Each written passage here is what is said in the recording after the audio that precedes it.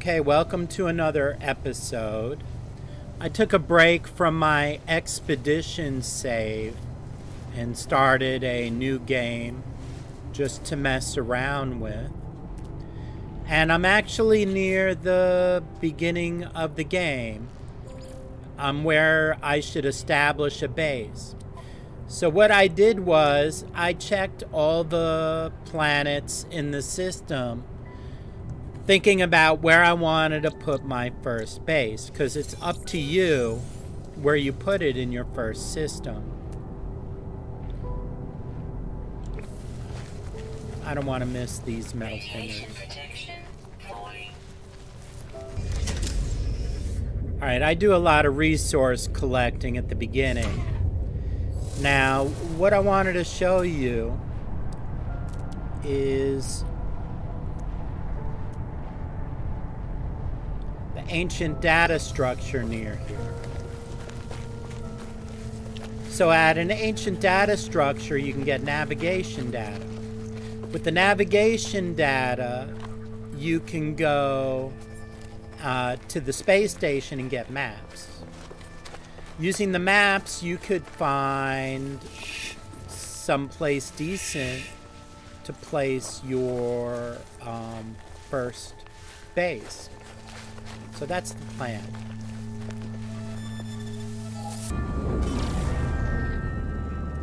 It can be a little challenge finding the space station at the beginning because they don't mark it so well for you.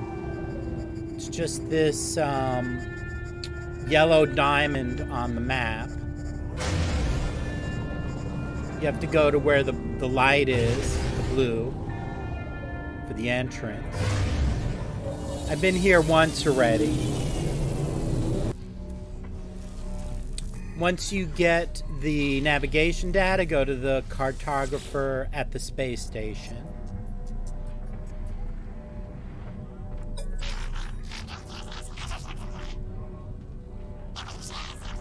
I can't understand a word he's saying. Exchange uh, specific charts. We'll get a planetary chart, which will help us possibly find a trading post or something. Most of them will have landing pads, and most of them will have the galactic terminals to trade with. So let's get. Um, okay, we've got NPCs. We've got a galactic trade terminal. We've got landing pads.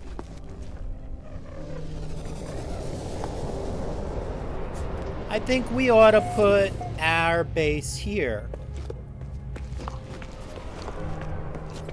This will save us a lot of building parts. Let's see if the game lets us do that.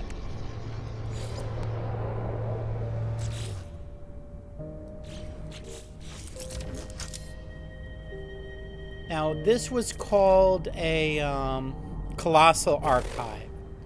So we'll call this base. Well, let's get our ship close to us. Cost the navigation data to call the ship.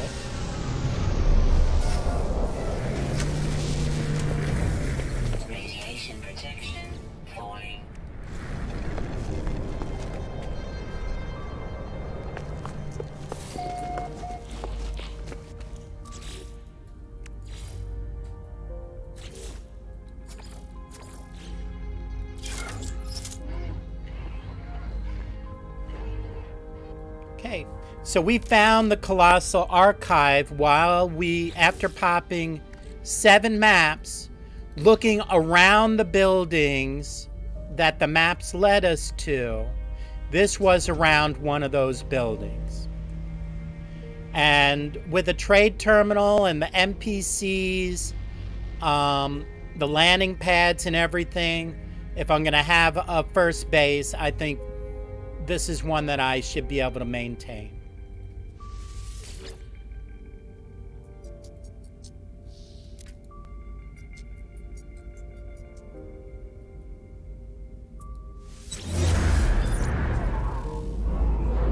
I see at least five landing pads. Make that six.